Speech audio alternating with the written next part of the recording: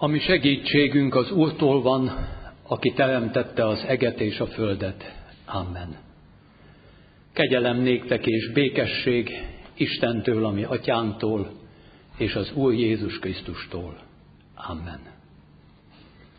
Dicsérjük Isten testvéreim a 81. Zsoltár első és második verseivel.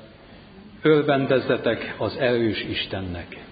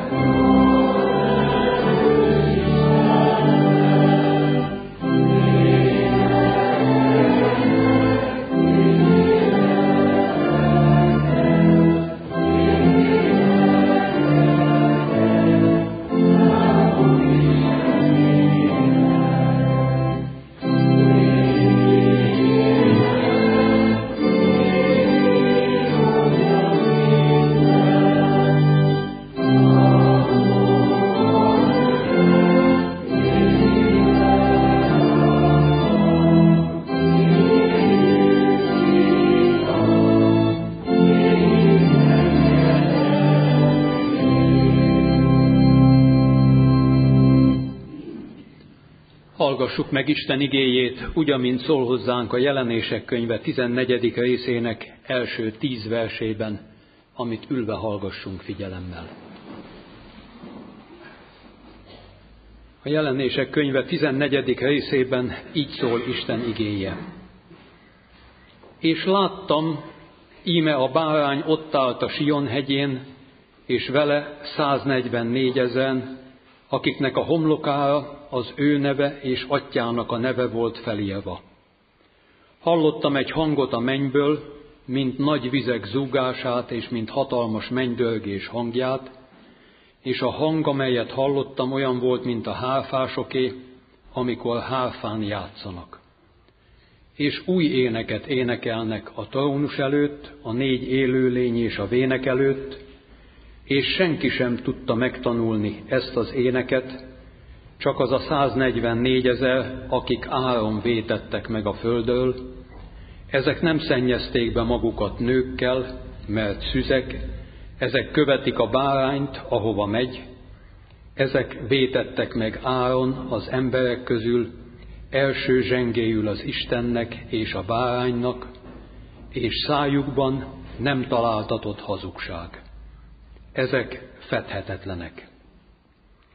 És láttam, hogy egy másik angyal repül az ég közepén, az örök evangélium volt nála, és hirdette azoknak, akik a földön laknak, minden népnek és törzsnek, minden nyelvnek és nemzetnek, és hatalmas hangon így szólt, féljétek az Istent, és adjatok neki dicsőséget, mert eljött ítéletének órája.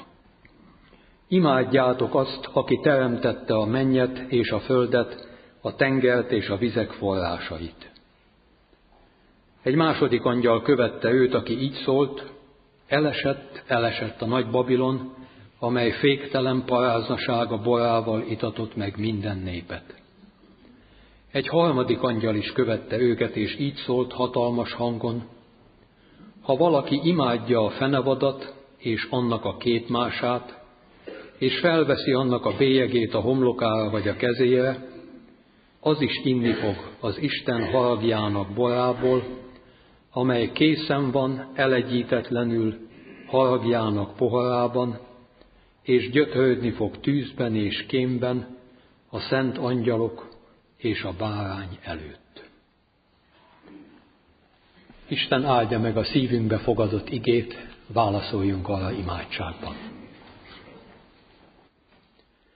Köszönjük, Urunk, hogy minden nyomorúságunk, gondunk, nehézségünk közepette is ölvendezhetünk Te benned az erős Istenben.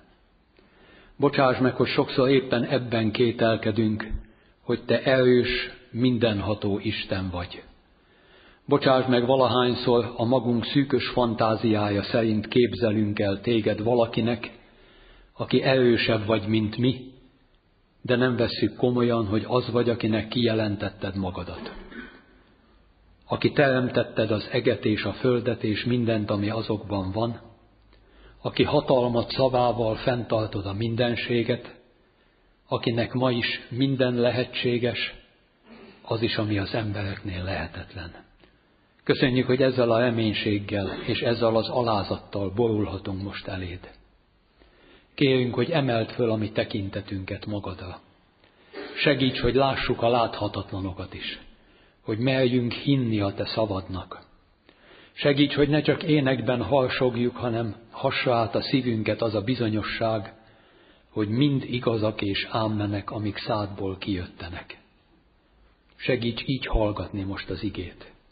És könyörülj meg ajtunk, hogy a gyarló emberi magyarázat mögött meghalljuk a Te isteni teremtő szavadat. És úgy érkezzék meg hozzánk az írott és a hirdetett ige, mint a Te szavad. Olyan nagy szükségünk van rád. Köszönjük, hogy ebben a világban, amelyik tele van hazugsággal, hangzik a Te igaz beszéded is. Köszönjük, hogy amikor olyan sok fölöslegeset beszélhettünk mi is az elmúlt héten, Te a legszükségesebbeket, az egy igazán szükségeset mondod nekünk. Segíts, hogy meghalljuk és komolyan vegyük azt. Köszönjük, hogy ismersz minket. Mindent tudsz rólunk, és mégis szeretsz.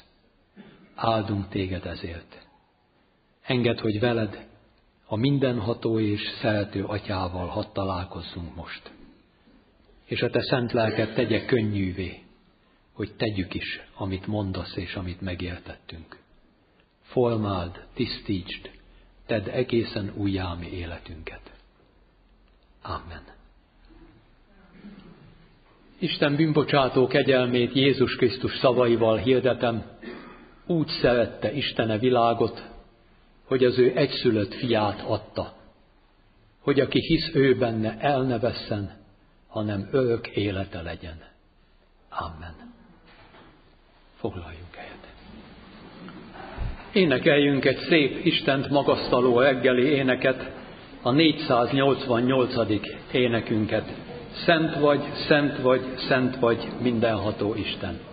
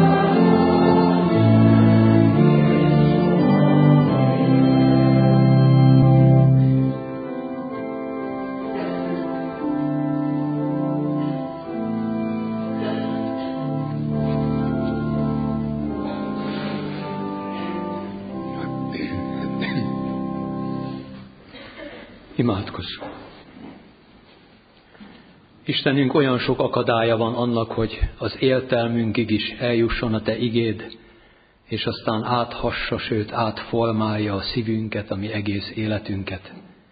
De hisszük azt, hogy nincs semmi gát, kegyelmed, mit ne törne át.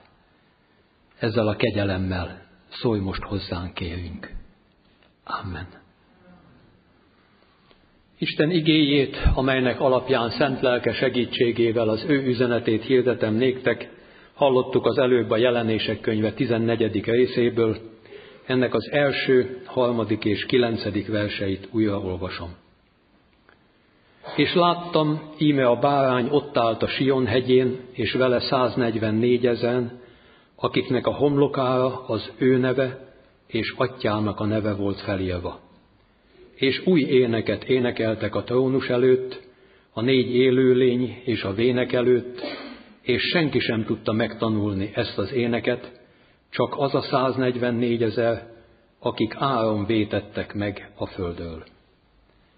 Egy másik angyal pedig így szólt hatalmas hangon, ha valaki imádja a fenevadat és annak a két mását, és felveszi annak a bélyegét a homlokára vagy a kezére, az is inni fog az Isten haragjának borából, amely készen van elegyítetlenül haragjának poharában. Eddig az ige. Kedves testvéreim, a jelenések könyvét tanulmányozva legutóbb a 12. és 13. fejezetet olvastuk. Láttuk, hogy a Jézus visszajövetelét közvetlenül megelőző utolsó időben mennyire fölerősödik a sátán embert romboló munkája, és az a szörnyű, sötét hármasság, amiről ez a két fejezet szólt, a sátán, az antikrisztus és a hamis próféta, hogy meggyöthöri majd azokat, akik Jézus Krisztusban hisznek, és mindent elkövetnek azért, hogy távol tartsanak mindenkit, akit csak lehet Istentől. A sátán önmagát imádtatja, és akik imádják őt, azokat megjelöli egy pecséttel, és bizonyos előnyöket csak ezek az emberek élvezhetnek majd. Démonizálódik az egész világ, annak a szellemisége, a közélet, az életgyakorlat, a hazugság és az erőszak általánossá lesz, semmi és senki nem lesz biztonságban. Ennek az előszelét sajnos már napjainkban is érezzük. Ez a mai fejezet arról szól, hogy abban az időszakban egészen nyilvánvaló lesz mindenkiről, hogy kihez tartozik. Azt olvastuk ebben a fejezetben, hogy két nagy táborra oszlik az emberiség, a bárány népe és a fenevad népe. A bárány népe amelybe azok tartoznak, akik elkötelezték magukat Jézus Krisztus mellett, akik, ahogy itt olvastuk, követik őt mindenhova, ahova megy, és a fenevad népe azok az emberek, akik megmaradnak abban az állapotban, amelyikbe beleszületünk minnyájan, az Isten elleni lázadás, a praktikus ateizmus, a gyakorlati Isten nélküliségnek az állapotába. Most is létezik már ez a két tábor, csak most még nem ennyire nyilvánvaló mindenkiről, hogy melyikbe tartozik. Mert ma még lehet alakoskodni, vannak, akik megtanulnak kegyes kifejezéseket, és azt hiszik, hogy ettől már a bárány táborába tartoznak, meg Jézus szavaival élve vannak bárányből bebújt falkasok, vannak, akik megpróbálnak mindkét táborban ott lenni, és mindkettőnek az előnyeit élvezni, akkor azonban mindenkinek a homlokán lesz ez a pecsét. Mindenkiről nyilvánvaló lesz, hogy kiben bízik, kitől vár segítséget, kihez tartozik, kinek a követője. Így olvastuk ezt, a bárány ott állt, és azok, akiknek a homlokára az ő neve és atyának neve volt írva. És ugyanakkor vannak azok, akik imádják a fenevadat, és felveszik annak a bélyegét a homlokukra, vagy a kezükre. Ritkán szoktam, de most hadd kérdezzem ilyen személyesen, te melyik távolba tartozol? Most így, ahogy itt vagyunk, nincs harmadik lehetőség, és nincsenek átmenetek. Vagy a bárány táborába tartozik valaki, majd mindjárt látni fogjuk, mik az ő jellemzőik, vagy a fenevad bélyege van rajta, akkor is, ha még nem nézett bele az ige tükrébe, és nem tűnt föl neki, hogy mi van a homlokán. Ma még át lehet menni a fenevad táborából a Jézus Krisztussal való közösségbe. És érdemes átmenni, mert a két állapotnak a vége között óriási különbség van. Majd ezt is látni fogjuk. Nos, melyiket mi jellemzi? Mi jellemzi azokat, akik a bárány táborába tartoznak? Mindenek előtt az, hogy követik Jézust mindenhova, ahova megy. Ezt olvastuk. Nem csak oda, ahova kényelmes. Akkor is megmaradnak mellette, ha annak ára van. Ha az kellemetlen, sőt a szenvedéssel jár. Esetleg a vértanúság a következménye. Emlékezünk arra, amit a könyv elejéről tanultunk, hogy kiknek íródott ez a könyv. Ezek a keresztjének az akkori üldözés alatt állandó életveszélyben voltak. Napi döntés volt ez, hogy ragaszkodom-e Jézushoz akkor is, ha visznek, és ma vagy holnap kiéheztetett vadállatok elé dobnak a római cirkuszban, vagy pedig akkor már nem. Akkor már inkább megváltoztatom a hitvallást, és nem azt mondom, hogy Krisztus az Úr, hanem azt mondom, hogy a császár az Úr. Napi döntés elé állította az a nehéz idő ezeket a keresztjéneket. De akik követik a bárányt mindenhova, ahova megy, azok az ő népéhez tartoznak. Aztán azt olvastuk, hogy akik megtartják az Isten parancsait és a Jézus hitét, akik ebben a világban, amelyik egyre messzebb kerül az Isten parancsaitól, sőt, egyre jobban szembeszegül az Isten érdekünkben adott parancsaival, ebben a világban is ragaszkodnak-e az Isten parancsaihoz. Akkor is, ha azt mondják rájuk, hogy konzervatívok, ódivatúak, ezen már rég túlszaladt az idő, azt ma már nem úgy kell érteni, az mire nem érvényes, ezt mind szép türelmesen meghallgatják és elengedik a fülük mellett. És tudják, hogy Isten parancsai örök érvényűek. És azokat ő a mi érdekünkben adta, és ha mi betartjuk, az a többiek érdekét is szolgálja, és csak így tudunk Isten szerinti életet élni. Aztán ott van a homlokukon a bárány neve és az ő atyának a neve, ami azt jelenti, hogy vállalják azt a Jézust, akihez tartoznak. Aztán, ha tovább olvassuk a fejezetet, elhangzott volna ez a szép mondat, hogy itt van a szentek álhatatossága. Ez egy különösen gazdag jelentés tartalmú görög szó, ami itt az eredeti szövegben van.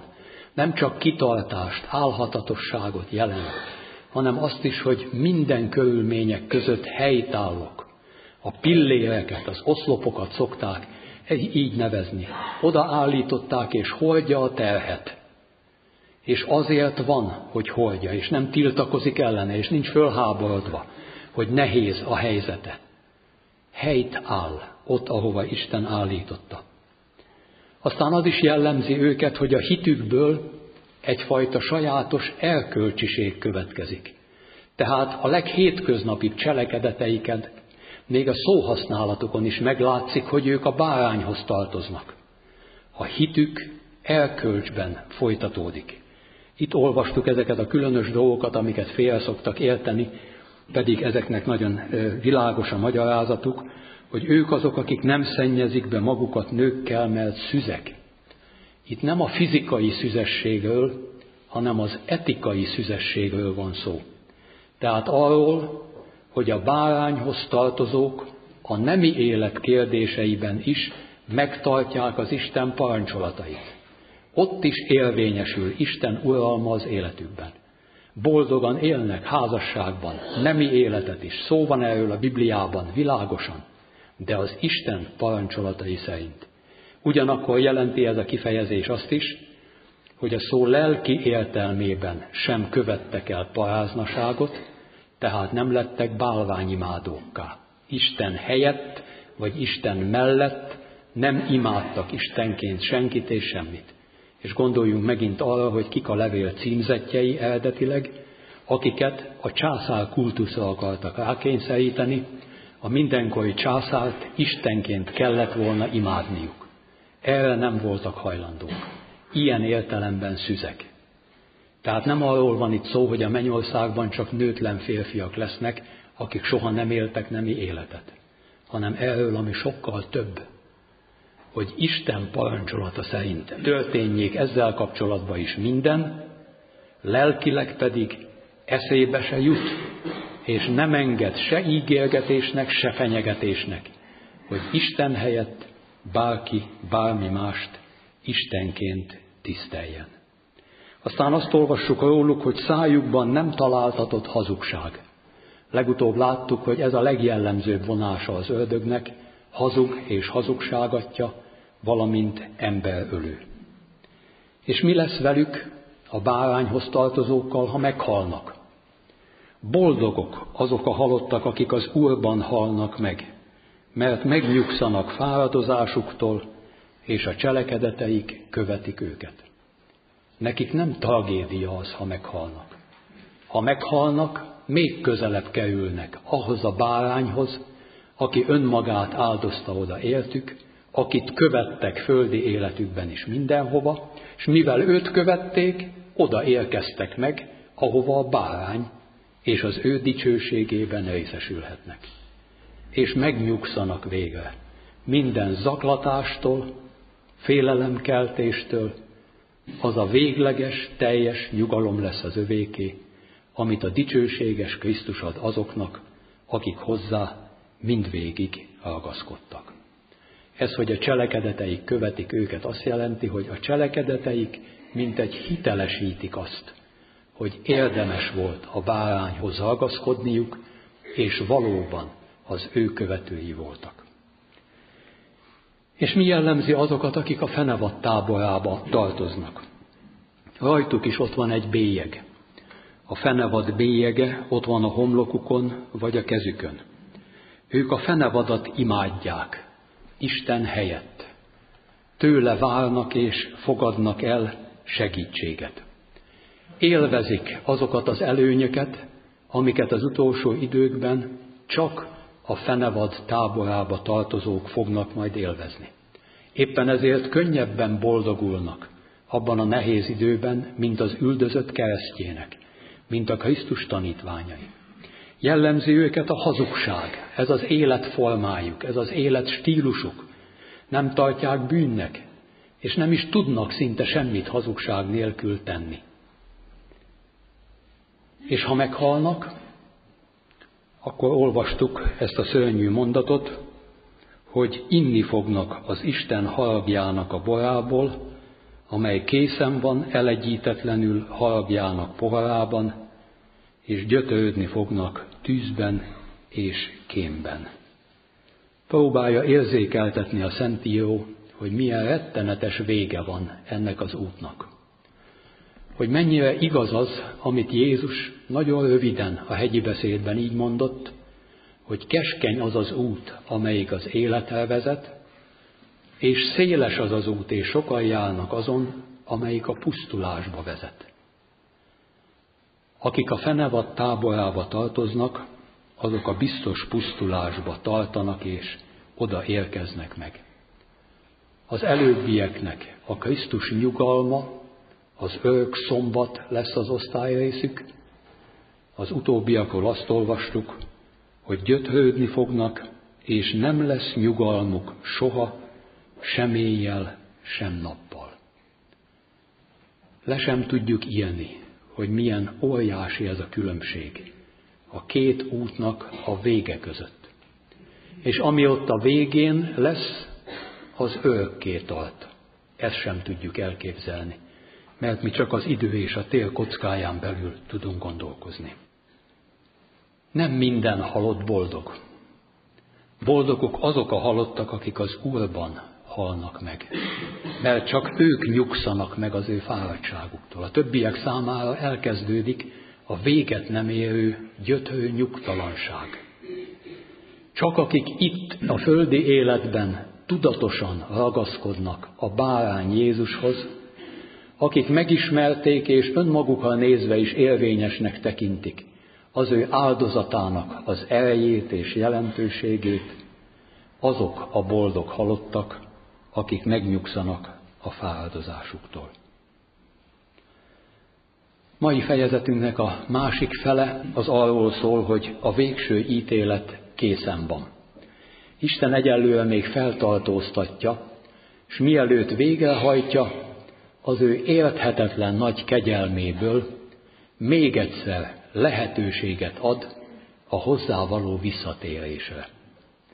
Van itt egy gyönyörű jelenet ennek a fejezetnek a közepén, amikor azt olvassuk, hogy lát egy angyalt, a látnok János, akinél az örök evangélium van, és hatalmas hangon meghirdeti azt, mégpedig minden nyelven, minden nemzetnek meghirdeti. Örök evangélium. Isten örömhíre, a szabadulás lehetőségének a meghirdetése nem változik a korokkal, nem más és más a különböző kultúrákban, Isten ugyanazt üzeni minnyájunknak, akik a fenevad táborába születünk bele, mikor az édesanyánk a világra hoz. Mi a tartalma ennek az örök evangéliumnak? Féljétek az Istent, adjatok neki dicsőséget, mert eljött ítéletének órája, imádjátok azt, aki teremtette a mennyet és a földet, a tengert és a vizek forrásait. Féljétek az Istent, dicsőítsétek az Istent, és imádjátok az Istent. Vagyis vegyétek nagyon komolyan, hogy ő van, és ő az, akinek kijelentette magát. Hogy egyedül ő, Isten, aki él és uralkodik. Ő teremtett mindent, ő váltott ki minket a reménytelen helyzetünkből, őt hagytuk ott, büszkén és gőgösen, és most ő hív vissza magához. Nyitva van az ajtó, bármilyen messze sodorodott valaki az atyai háztól, visszajöhet Istenhez. Ez az evangélium.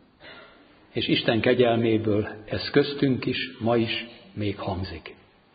Boldog ember, aki enged a szerető Isten hívásának, és átigazol a bárány táborába Jézus Krisztus követői közé.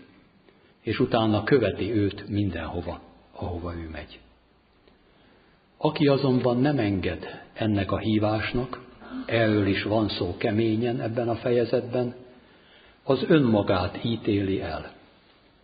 Az az Isten ellensége marad. Nem az Isten lesz ellenségévé, ő ellenkezik, ellenségeskedik Istennel. És annak ki kell innia az Isten halgjának a poharát. Ez a kép gyakran ismétlődik a jelenések könyvében, a harag pohara, a harag bora, az az Istennek a bűn feletti ítéletét jelenti mindig. Jézus Krisztus az utolsó cseppig kiitta az ítélet poharát, amikor meghalt ártatlanul a Golgotán a kereszten. De aki ezt nem hiszi, vagy nem hiszi, hogy ő rá is érvényes ez, annak magának kell kiinnia az Isten ítéletének poharát. A fejezet befejező része arról szól, hogy az a Jézus, aki önmagát áldozta oda helyettünk, és vette le rólunk Isten ítéletét, ítélő bírája lesz azoknak, akik ezt nem veszik komolyan, vagy egyáltalán ezzel a kérdéssel nem foglalkoznak. Valóban igaz az, hogy az elfogadott kegyelem az új élet, a visszautasított kegyelem az ítélet. Erről szól ez a fejezet. Kinek a pecsétje van a homlokunkon? Vajon azok közé tartozunk-e már, akikről azt olvastuk itt, hogy áron vétettek meg? És ismerjük -e ennek a folytatását is, amiről Pálapostól az 1 Korintus 6-ban ír, hogy áron vétettetek meg, dicsőítsétek azért az Istent, a ti testetekben és lelketekben, amelyek az Istenéi. vagyis következzék egy új étosz, egy új elkölcs, új gondolkozásmód és magatartás abból, hogy Jézus kifizette életünk a váltságdíjat. A sátán tombol és rombol egyre inkább, de az örök evangélium még ma is hangzik. Maga Isten üzeni ezt nekünk, féljétek őt, dicsérjétek őt, imádjátok őt.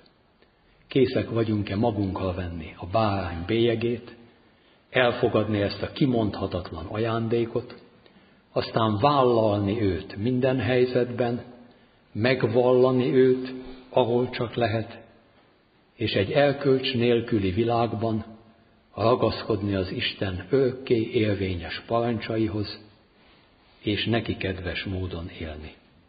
A magunk érdekében is, a körülöttünk levők érdekében, Isten dicsőségére. És ezen a vasárnapon szeretnék mondani még valamit. Néhány nap múlva, június 11-én lesz 70 éve annak, hogy ezt a templomot az egyházkerület akkori püspöke, Ravasz László átadta rendeltetésének. Úgy szokták ezt mondani, hogy felszentelte. Mégpedig azzal a céllal, hogy itt az örök evangélium hangozzék, hogy a sátán rabságából az élő Istenhez térjenek minél többen, ezt így szó szerint Jézus mondta Pálapostolnak, hogy sok elveszett ember megismerje itt Isten mentő szeretetét, Jézus áldozatának a jelentőségét, és megmeneküljön a végső nagy ítélettől. Legyen áldott Isten, hogy sokan vannak, sokan vagyunk, akik hallhattuk itt, és meghallottuk ezt az evangéliumot. Legyen áldott Isten, hogy ma is vannak sokan, akik magukkal veszik a bárány bélyegét, hordozzák az ő nevét, az azzal járó gyalázatot is, és készek őt megvallani másoknak is. Legyen áldott Isten, hogy sokan vannak itt, akiknek az élete itt gyógyult és változott meg. 1939. június 11-én az Ezékiel könyve 47. fejezete volt a felszentelő igehirdetés alapigéje.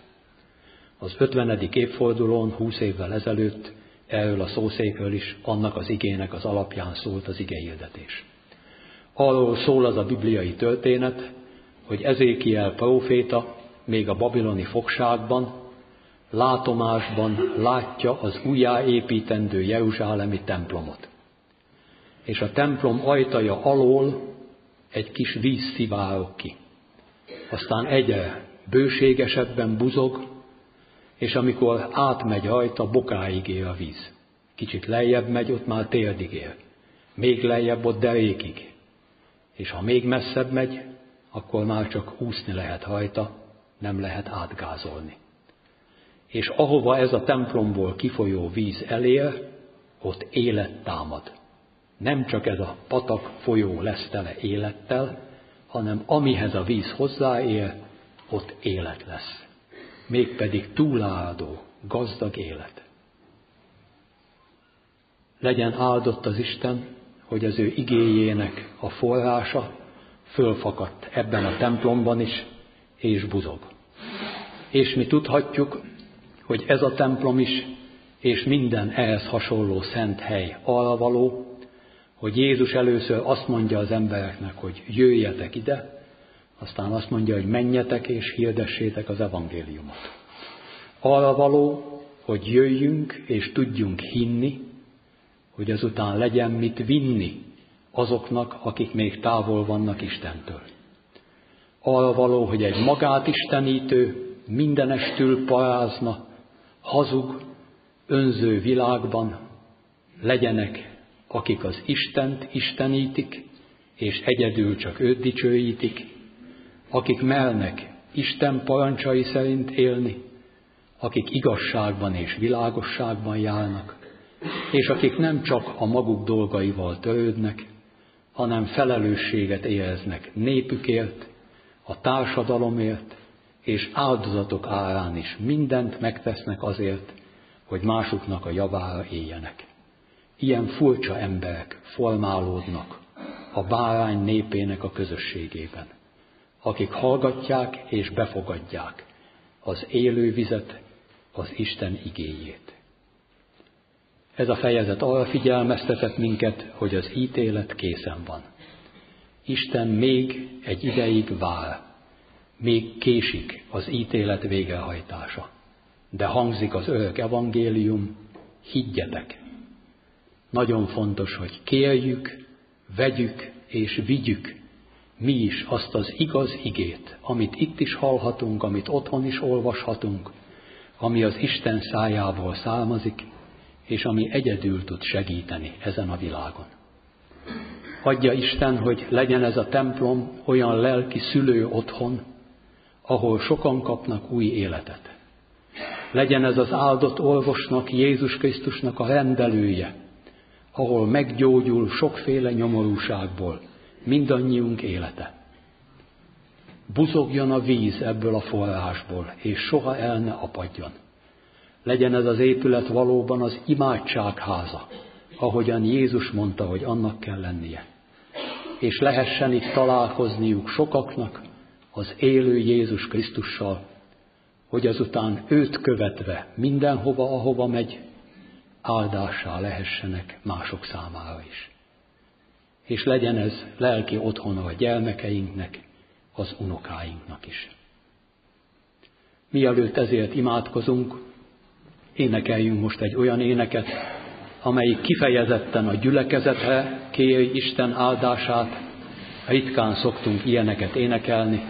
A 194. énekünket, és ennek a vége ráadásul az igénkhez is kapcsolódik, majd látni fogjuk, ha elénekeljük. Tartsd meg egy gyülekezetnek, melyet törvényid vezetnek, nagyjait, kicsinyeit igazgassa tanítóit, hűséges előjáróit, felsőbb és közelendeit. Adjad, hogy szívvel, lélekkel dicsérhessünk a szentekkel, s csak téged tisztelhessünk, és ha eljő Amazóra, melyben szállunk koporsóba, mennybe hozzád mehessünk.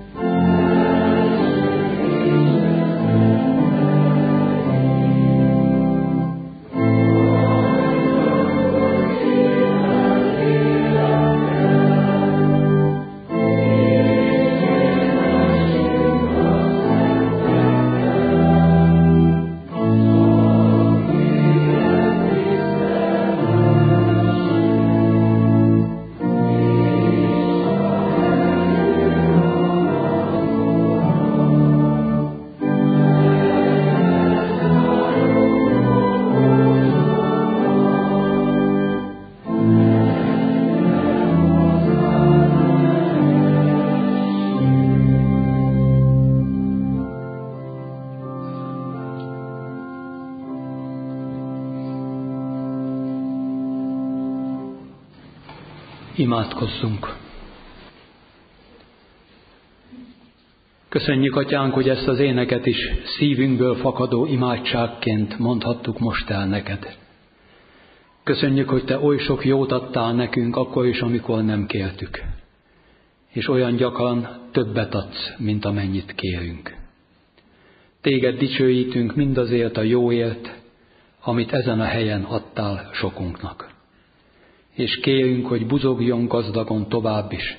A te igéd élő vize, mossa át, járja át mindannyiunk életét, és hadd folyjék át rajtunk, hadd tapasztaljuk meg azt, Úr Jézus, amit a samáriai asszonynak mondtál, hogy az a víz, amit Te adsz, az elveszi a szomjúságunkat, és soha többé meg nem szomjazunk, sőt átárad rajtunk, és mások számára is áldássá lesz. Köszönjük, hogy belenézhetünk a Te igédnek a tükörébe. Engedd meglátnunk, hogy milyen jel van a homlokunkon. Ajándékozz meg minket azzal, hogy a bárány közösségéhez tartozzunk. És adj nekünk Jézus Krisztus bátorságot ahhoz, hogy ne szégyeljünk téged, aki nem szégyeltél minket elfogadni. És adj nekünk szót szánknak megnyitásakor, amikor készek leszünk megvallani téged. Tégy áldássá minket, annak a közösségnek a számára, amelyikben élünk. Hadd tudjunk téged vinni, a te igédet közvetíteni. Hadd tudjunk világítani ebben a sötétedő világban. Könyörgünk azokért, akik különösen nehéz helyzetben vannak most. Te adj gyógyulást a betegeknek, munkát a munkanélkülieknek, kenyeret az éhezőknek, szeretetet azoknak, akik már lemondtak arról, hogy bárki szeretheti őket. És kérjünk, használj minket is kegyelmesen ebben a te nagy munkádban. Köszönjük, hogy rád a legszemélyesebb gondjainkat is. Tőled kérünk erőt a terheinkhez, világosságot a döntéseinkhez, Taníts minket, hogy féljünk téged, dicsőítsünk téged, imádjunk téged, szavainkkal és életünkkel. Amen.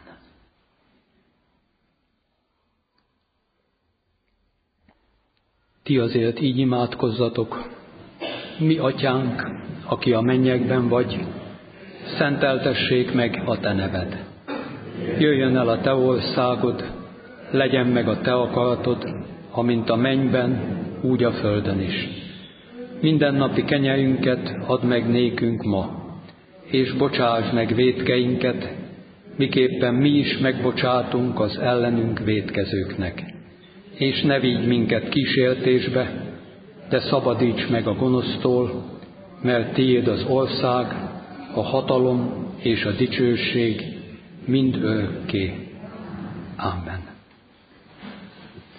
Szeretném, ha elénekelnénk egy éneket, ami az igénkhez kapcsolódik nagyon, de nem nagyon ismerjük.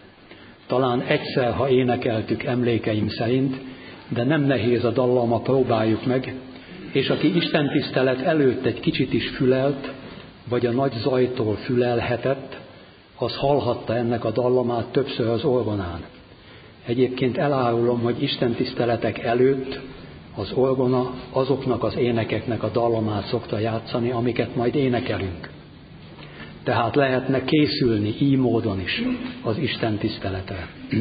A 362. ének ez, az első három sor a könnyű, ugyanaz a ritmus képlete, az utolsó sorban nekilendül, és ott szoktunk egy kicsit fölbotlani, de én hiszem azt, hogy a második verstől kezdve már jól fog menni. Figyeljünk oda egy kicsit, és figyeljük azt is, hogy mennyire az utolsó idők jelenségeit írja le a szövege ennek az éneknek. Ébredjél fel világ bűneidből.